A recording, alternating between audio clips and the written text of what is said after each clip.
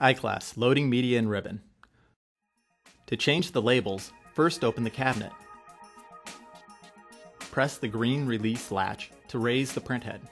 Place the label stock on the spindle and feed the labels under the paper guide.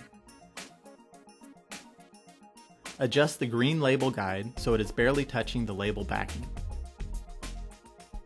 Place the ribbon on the spindle. It can be either coated side in or coated side out. Follow the arrows. Feed the ribbon under the bar and wrap the ribbon around the take-up core. Turn it a few times to make sure it is taut. Lower the printhead and lock in place. Press the feed button to make sure everything is loaded correctly.